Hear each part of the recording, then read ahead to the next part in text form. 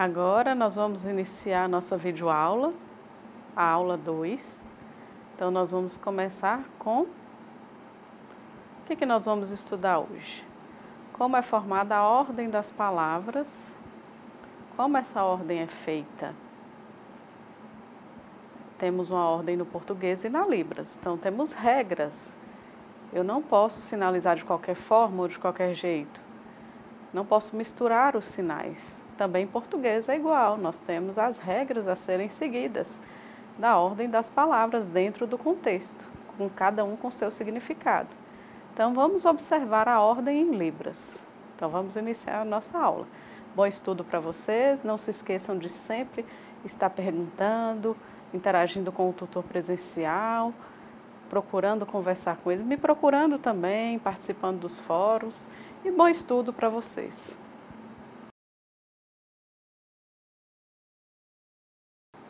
Então, primeiro nós vamos iniciar com o conceito de gerativismo. Gerativismo. É este o sinal. Então, começaram-se as pesquisas para mostrar como era esse gerativismo através de Chomsky. Em 1957, em Chomsky, em seu livro Estrutura da Sintaxe, ele aborda como é, é feito, como é distribuído essas regras que podem ser alteradas ou, ou não, se não podem ser alteradas. Como deve ser essa relação biológica de cada um. Vamos ver os significados. Observe ali. Então, é como se fosse mesmo uma árvore. Olha ali, é uma árvore. Então, temos ali várias subdivisões bem detalhadas, explicando as frases, como a ordem deve ser feita, o que é aceito, o que, o que concorda ou não. Então, para ficar claro para vocês, nós vamos mostrar um pouco dessa árvore.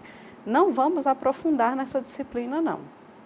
Eu vou mostrar um pouco apenas hoje, porque para detalhar essa árvore, para vocês entenderem melhor, seria necessário mais horas, seria necessário outra disciplina para focar bastante, detalhar bastante isso aqui, essa árvore. Então vocês podem perceber, por exemplo, tem uma frase: Michele vai viajar dia 10 de dezembro. Essa é a frase. Então, como ela seria distribuída nessa árvore? Observe aqui no slide. Então, tem essas subdivisões e as palavras estão distribuídas e não é, não é, não é fácil, não é rápido para ensinar, não. Então tem que ser bem detalhado. São dez grupos de palavras, vocês se lembram que nós estudamos na aula 1? Então, também nessa árvore teria que ser mais detalhado. Mas então vocês vão entender um pouquinho. Vão falar um pouquinho de, da frase, como a ordem deve ser colocada na frase, para vocês entenderem, ok? Vamos iniciar, vamos continuar a nossa aula. Então, nós vamos ver a pesquisa, de acordo com Chomsky, da sintaxe. Na Libras, aqui no Brasil, como foi feita essa pesquisa da sintaxe? Para, para Libras. Essa pesquisa foi feita por Ronice e também Ferreira Brito. Este é o sinal. Pesquis, elas pesquisaram, fizeram um livro que, que tá, está mais aprofundado. Então, Ronice é, observou ali o livro de Chomsky, em 1995, observou a pesquisa de Chomsky e observou o que poderia ser utilizado na Libras. Então, Ronice fez o seu livro em 1999 e aí ela coloca a, a ordem das palavras que podem ser usadas na frase em Libras. Podem ser livres ou não. Mas depende. Então, Ronice descobriu o quê? O sujeito, verbo, objeto. A ordem para se fazer a frase, o significado. S de sujeito, V, verbo, O, objeto sujeito, verbo e objeto. Então, essa seria a ordem básica seria o principal. O sujeito, verbo, objeto na Libras realmente teria concordância. Não pode discordar, não pode ser agramatical. Então, entenderam? Esse seria o significado, agramatical. Ok? Então, vamos continuar nossa aula. Então, vocês viram, antes eu expliquei sujeito, verbo e objeto. Então, guardem sujeito, o S, V de verbo e O de objeto. Sujeito, verbo e objeto. É o principal. É o que nós temos e que eh, nós usamos mais. Se eu tentar mudar, por exemplo, virantes com o objeto, depois sujeito e verbo, pode não dar uma concordância. Mas, por exemplo, temos o sujeito, verbo e objeto. João gosta de Maria. Em Libras, talvez não fique tão claro se não houver a marcação no espaço. Eu marco João aqui, Maria ali, João gosta de Maria. Ou João enviou uma carta para Maria. Então você viu o que tem ali? C-O-N-C. Observe aqui no slide. Qual o significado dessa sigla? Concordância. Ok? Nós vamos falar um pouco mais, eu vou explicar mais sobre a concordância, ok? Então agora nós vamos passar a outra ordem. Pode ser objeto, sujeito e verbo ou sujeito, objeto e verbo. Então, pode-se usar essas ordens, mas tem que ter uma marcação de expressão também. Por exemplo, tem uma marcação de expressão, porque, por exemplo, se não há expressão, não vai haver concordância na frase. Observe o exemplo. Por exemplo, não sem expressão. Maria, João gosta. Não há expressão alguma. Maria, João, carta, enviar. Parece que não tem sentimento, falta alguma coisa, não fica muito claro. Não tem o jeito, não, não, não consegue, certo? Então falta o quê? Qual é esse sinal? Tópico. Esse é o sinal de tópico. Nós vamos falar no decorrer da aula também sobre ele, para ficar mais claro. Mas o que seria o tópico? Vai me ajudar, o tópico me ajuda na marcação, na expressão, como por exemplo a frase, tendo o tópico. Exemplo. Maria, olha a minha expressão, as sobrancelhas levantadas, gosta de João. Ou pode ser, por exemplo, Maria gosta de João mudar de lugar, mas tendo a expressão, olha, o erguer das sobrancelhas e manter essa expressão. Segundo, ok? Então, o segundo, Maria está aqui e João enviou uma carta para Maria. Então, tendo a expressão, as sobrancelhas erguidas, abaixadas, fica mais claro. Então, eu preciso pensar, tem que ter expressão. Porque dentro da nossa língua, da língua de sinais, da Libras, precisa usar expressão. Tendo essa expressão facial, é muito mais natural da nossa língua, de entender. Então, se eu organizo a frase sujeito, verbo, objeto, e eu quero mudar, por exemplo, objeto, sujeito e verbo, ou o objeto colocar antes do sujeito, pode se mudar. Mas acontece o que? A frase fica sem concordância. Por quê? Se coloca o objeto antes do sujeito, parece que fica mais forte, fica superior. Por exemplo, a frase sujeito, verbo, objeto. João, sujeito. Pensa, verbo. Que Maria é inteligente, objeto. Vamos mudar. Por exemplo, Maria, inteligente, João pensa. Então parece que não fica meio confuso, não, não há uma concordância, é gramatical. Maria inteligente, João pensa, não, a estrutura não combina, não dá certo com a Libras. É a gramatical. Mas pode-se usar essa frase e organizar de forma como se fosse, por exemplo, uma ironia, por exemplo. Eu posso, por exemplo, fazer usar um tópico. Um exemplo anterior que eu já mostrei. João pensa que Maria é inteligente. Pensar é verbo, é um verbo simples. Eu posso colocar esse verbo simples com concordância, porque ele é mais flexível, eu posso alterar e mudar de lugar. Sujeito, verbo, objeto ou objeto, sujeito e verbo.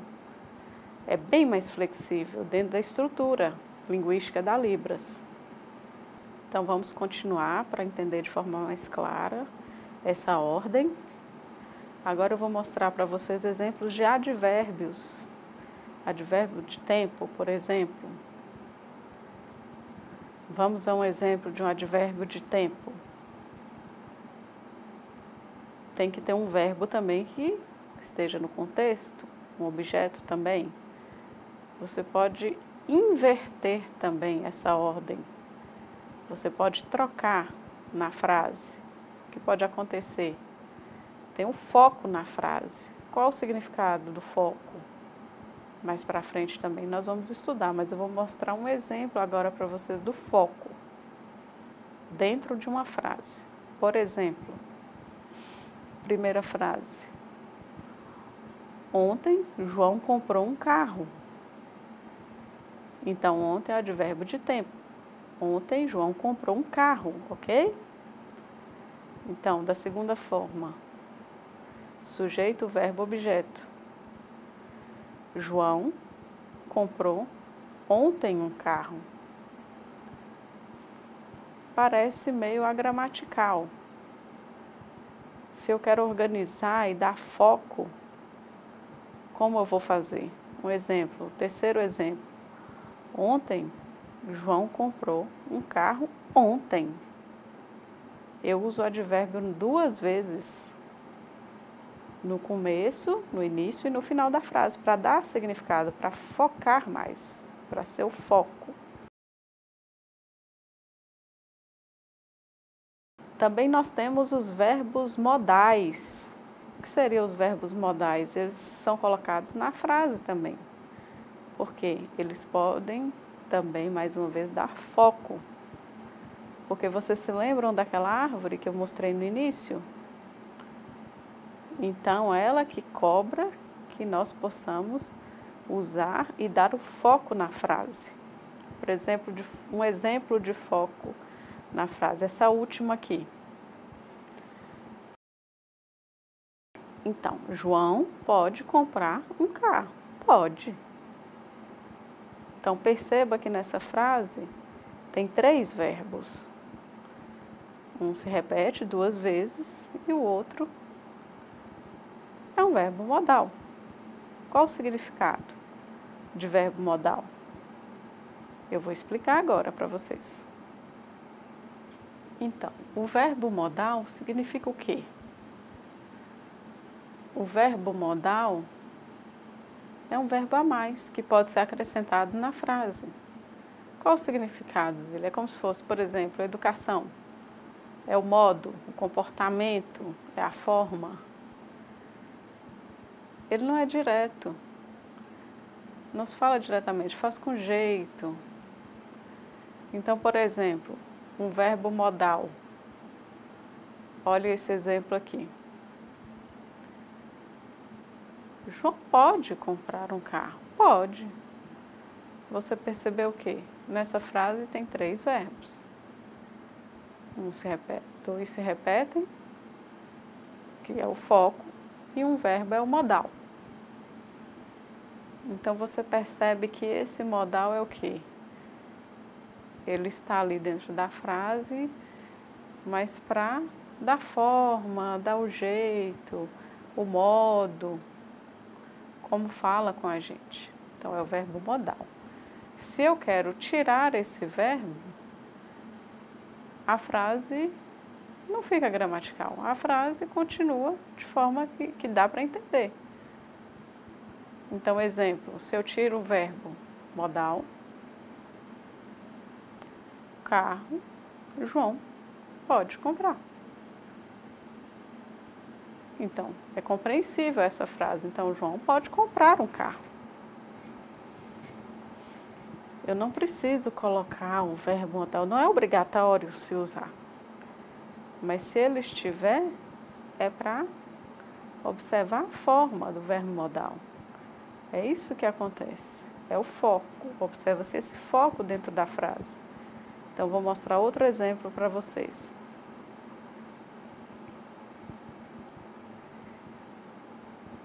O João pode comprar o carro. O verbo modal sumiu. Que seria uma categoria vazia. Por quê? Não tem o verbo modal aqui. Tem apenas dois verbos e nós tiramos o verbo modal, ok? Vocês entenderam? Ficou claro? Se tiverem dúvida, podem perguntar. Interagir no fórum também, ok? Então, nós já explicamos um pouquinho antes. Você pode usar o verbo modal ou não, tem uma categoria vazia, mas eu quero que vocês prestem atenção nos parênteses S, M, O, V, M. É o que? Faça uma avaliação, é essa avaliação da ordem da frase. Então preste atenção porque pode ter em alguma atividade, em alguma avaliação, alguma prova que vocês forem fazer, então prestem atenção aos significados. O S é de sujeito, o O de objeto, o M de verbo modal e o V é de verbo. Então, prestem atenção e é só isso mesmo. Então, vamos voltar ao slide. Então, o verbo modal na pode ser numa categoria vazia, por exemplo. Tenho dois exemplos, eu vou mostrar para vocês. Está dentro do colchete ali, o tópico, ok? O tópico. Então, observe o tópico. João, olha essa expressão para João. Comprou um carro. E a segunda frase, olha o foco que se dá na segunda frase, com o verbo modal. João pode comprar um carro? Pode. Então, usou-se o verbo poder duas vezes. É o verbo modal. Ficou claro o conceito, o significado para vocês? Esse é o significado do verbo modal. Então, vamos continuar estudando a pesquisa de Ronice. Em sua pesquisa, ela mostra o quê? Que nós temos dois verbos que podem concordar ou não. Então, vamos guardar esses nomes. O primeiro é non plain e o segundo plain verbs. O que seriam esses dois? Vou, vou, explicar de forma mais fácil, vamos evitar aqui o inglês, vou explicar de forma mais fácil para vocês entenderem. Vários artigos têm, então vocês precisam saber, mas vamos explicar de forma clara o conceito.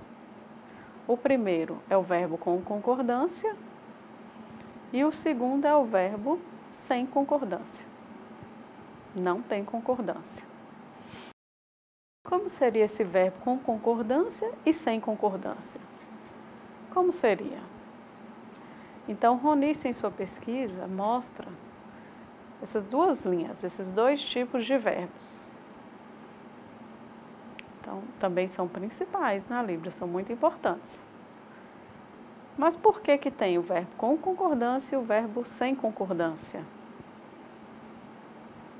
Por que temos essa diferenciação? Então, Ronice, em sua pesquisa, ela foi comparando esses verbos. Então, Ronice descobriu que, que tem verbos com concordância, são, que esses verbos são mais flexíveis. Podem ser alterados dentro da frase, mudar de lugar e são mais flexíveis. E os verbos sem concordância, eles são mais rígidos, devem seguir mais as regras, não pode se mudar quase nada, não tem essa flexibilidade que os outros têm. Então, eles são diferentes, mas precisa se ter cuidado, principalmente às vezes um ouvinte vai fazer um, curso para aprender Libras e começa a pegar e usar sinais e algumas coisas. Não, é preciso observar principalmente o verbo, a estrutura linguística, perceber como é usado o verbo dentro da frase. Porque às vezes tem que se o verbo usa ou não. Então esse verbo com concordância é livre para ser alterado dentro da frase. Então nós vamos ver isso durante a aula. E o verbo com concordância, ele pode ser usado de que forma? Vou mostrar aqui para vocês agora alguns exemplos. O verbo com concordância é o verbo non plain. Então vamos ver algumas frases que nós temos aqui. Então, João está aqui. Maria enviou uma carta a João. Maria deu um livro a João. João está aqui. Maria olhou, viu João. João está marcado aqui. Maria o ajudou. Então perceba o que? Que temos os verbos, por exemplo, enviar carta, dar, ver ou me ver, ajudar, me ajudar. Então eles são verbos que têm concordância. Agora eu vou mostrar exemplos de frases com verbos que não têm concordância. Observe as frases. Você é capaz de, de observar se ele tem concordância ou não. Então, olha aqui os exemplos. Primeiro, João está aqui, Maria está aqui, verbo gostar. Mas João está aqui, Maria está aqui. Mas quem gosta de quem? João gosta de Maria, Maria gosta de João? Como é isso? Então não tem concordância. Qual gosta de qual? Então eu preciso deixar claro para vocês entendam e vocês, vocês possam perceber o que. Por exemplo, é preciso avaliar essa frase, observar o que tem nessa frase para que fique de forma clara. Vamos ver outro exemplo. Percebam nesse exemplo essa frase. Faça a avaliação sintática dessa frase. O que está faltando? O que precisa acrescentar? Temos ali A e B. O que, que significa? A, primeira pessoa, B, segunda pessoa. Então, em algumas pesquisas, nós temos número 1 um e número 2. E algumas A e B. Então, isso é livre, depende da pesquisa, do autor, são diversas. Então, vamos continuar vendo o slide, vocês vão perceber que não tem diferença. Não tem marcação de espaço de A e B o espaço de um e o espaço do outro. Eu preciso, na minha sinalização, ficar parado.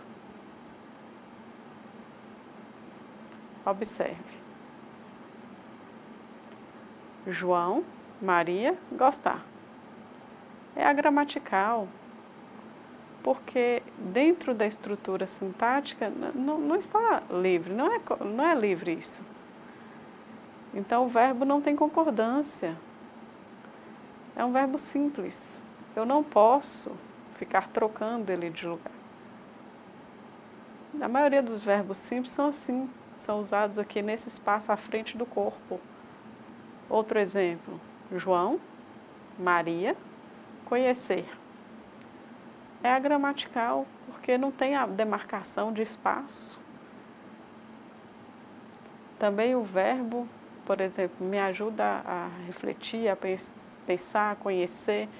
É, João conhece Maria, Maria conhece João, como que é isso? Então, não dá para saber. Outro exemplo, João, Maria, amar.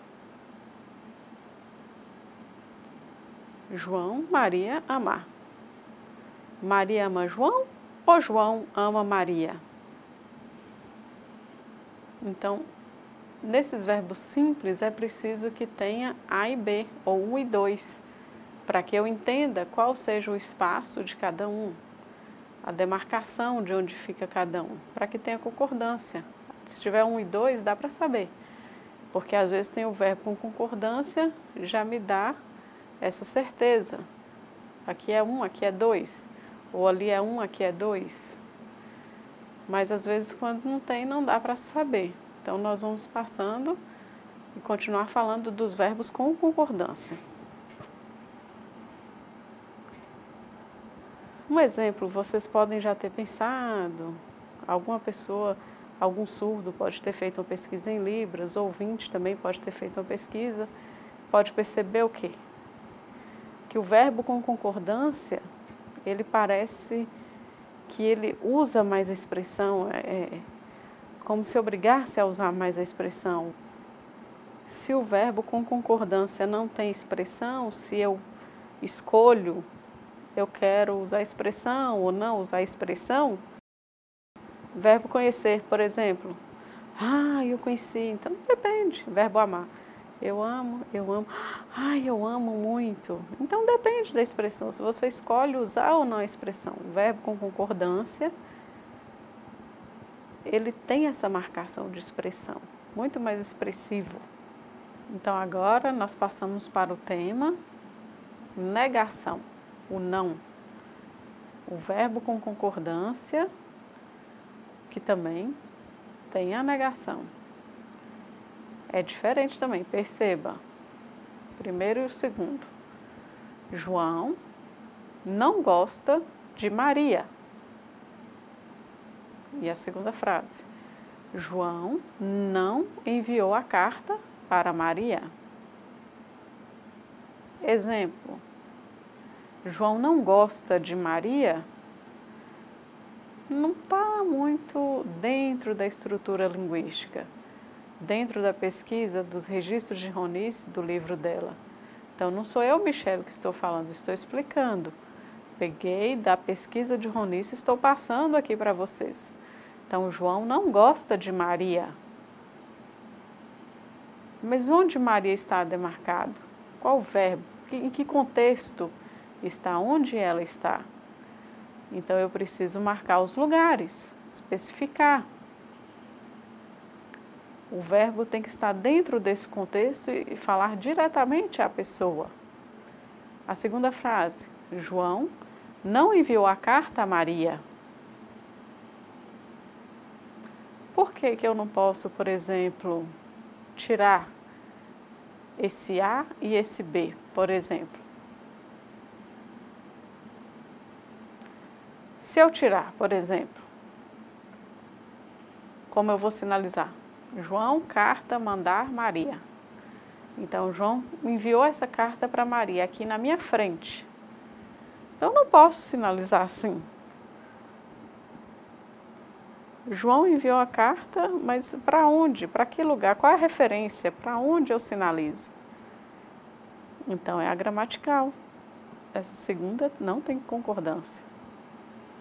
Então, na pesquisa de Lasnik, do ano de 1995, em sua pesquisa, a proposta dele, ele propõe o quê? Que os verbos principais na sua língua,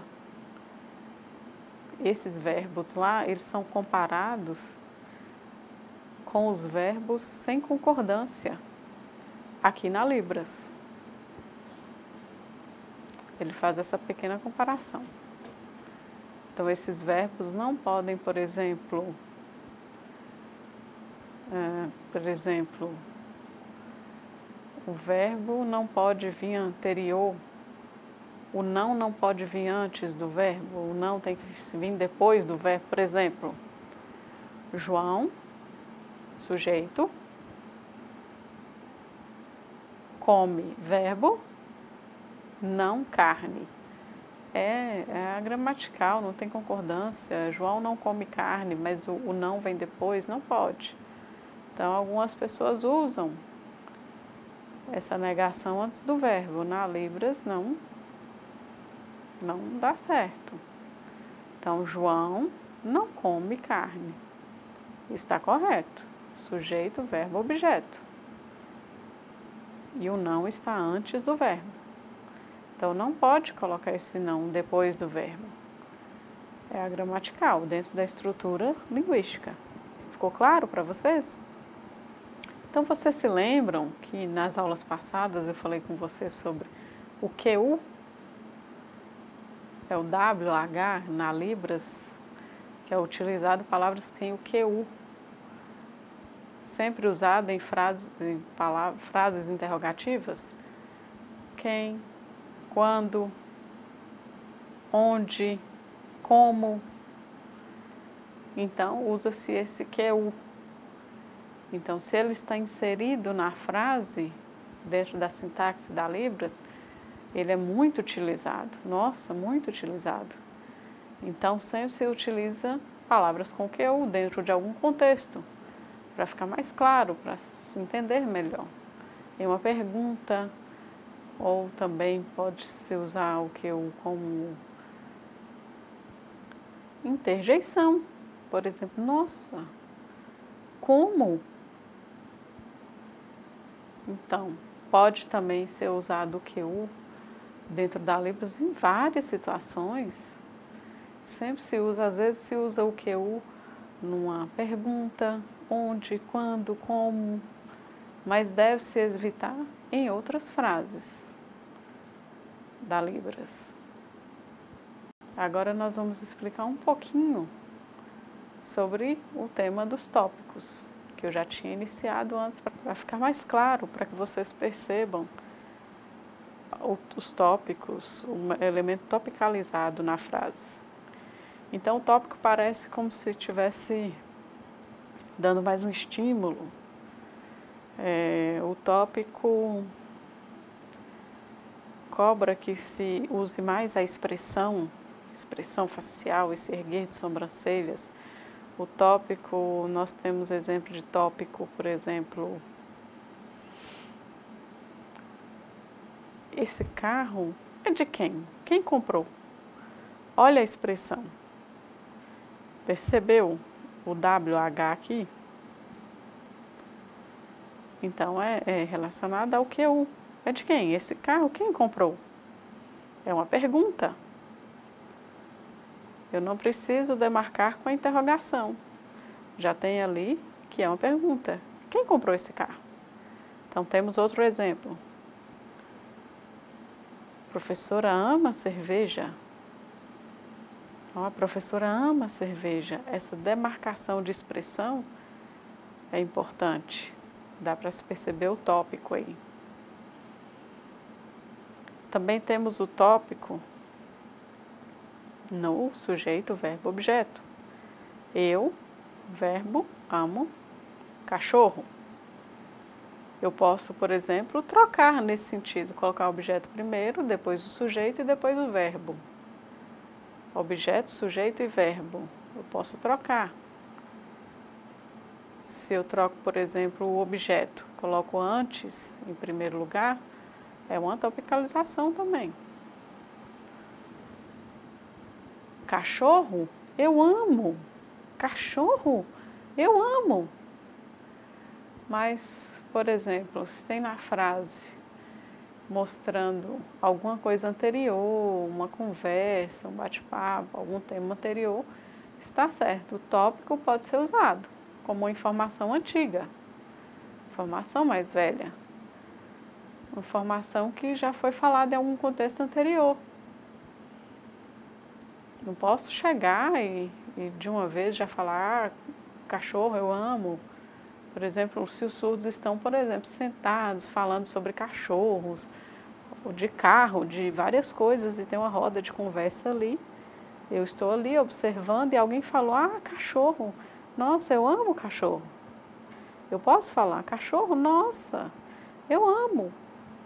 Ou também cachorro? Ah, não, não gosto de cachorro. Então já está inclusa é uma informação antiga que já existia. Você se lembra também do tópico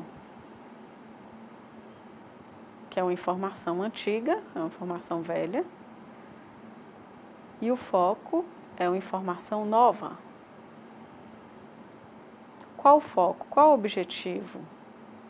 Repetir. Se fala-se duas vezes, por exemplo, eu amo cerveja, eu amo. O meu foco foi repetido duas vezes. Deu mais atenção no verbo amar. Eu amo, amo. Porque deu intensidade à frase também. Então, você tem que lembrar que tem o tópico e o foco. Os dois usam a expressão. É automático. Eu já faço logo a expressão quando estou falando deles, dentro da língua de sinais, da Libras.